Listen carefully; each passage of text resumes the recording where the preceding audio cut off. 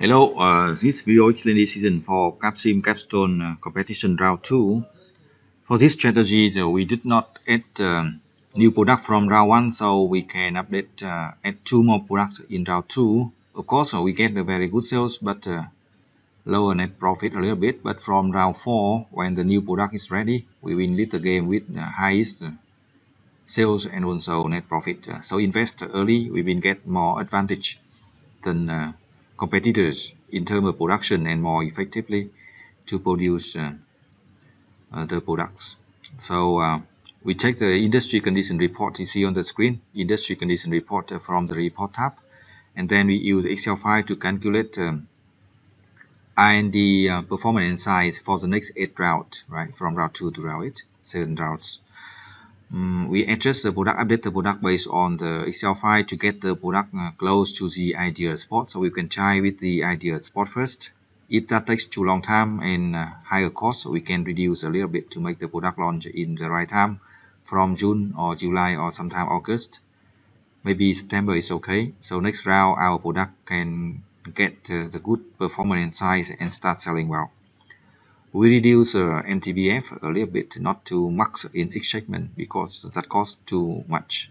So we reduce to keep that uh, high medium of uh, MTBF mean time before failures for all the five segments. The only number four uh, performance we keep that max for um, 27,000 hours because the for segment uh, segment performance customer customer prefer performance uh, the best right so we add two more product in low end segment and one more product, uh, the second new product in um, traditional segment because these two products uh, has a high sales and also good uh, market growth rate. So um, that's for R&D. We take now we take the launching date. Uh, the second product uh, we do not update because uh, number two low end is optimal already, right? We just change the MTBF to 14,000 we do not keep that 7 or 15 or 16 because that's too high cost too much. Just keep that higher than competitors then we can sell better right? And also get good net profit margin. We take the other products if they launch in 2020 it's okay. Some launch in 2021 we can adjust that lower the performance and increase the size a little bit so that uh, the new product will be ready in uh, the same year. The second round and uh, around June or, or September is okay right again this company uh, for this sample set for this uh, company so we uh, for this strategy so we um, do not add any product in round one. So in round two we can add two more products. If we do so sales are good but net profit reduce a little but we still get advantage. We will get very good advantage in round four to the end of the game. So again we check the price for the marketing. We check the price again reduced 20 cent 20, 50 50 cent for each uh, product. uh,